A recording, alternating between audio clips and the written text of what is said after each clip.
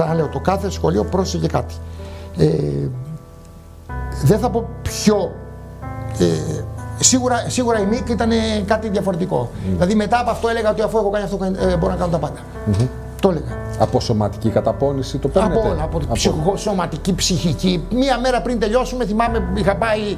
Ε, είχαμε φτιάξει κάτι καδράκια για το σχολείο και τα λοιπά και είπα λέω να τα βάλουμε εδώ και τα λοιπά. Λέει, λέει δεν πειράζει έτσι και έτσι θα φύγεις. Μία μέρα πριν. Μία μέρα πριν δεν ήξερες αν θα βγει φωτογράφο. Μία ημέρα πριν. Ε, φο, φοβερό Αντέξατε όμως. Αντέξατε. Όνειρα βλέπω ακόμα για παράδειγμα. Ναι.